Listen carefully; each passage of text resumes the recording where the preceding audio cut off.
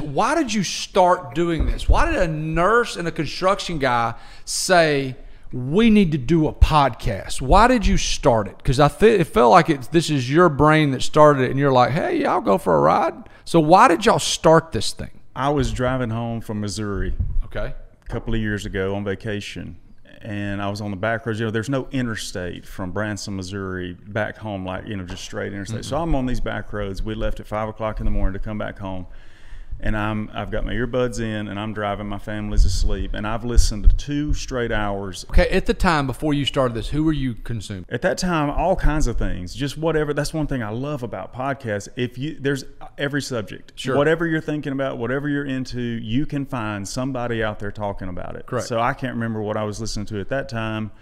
I mean, it may have been ministry. It could have been tons of things, but it just I was just driving on the road and I said, I love this so much. I would like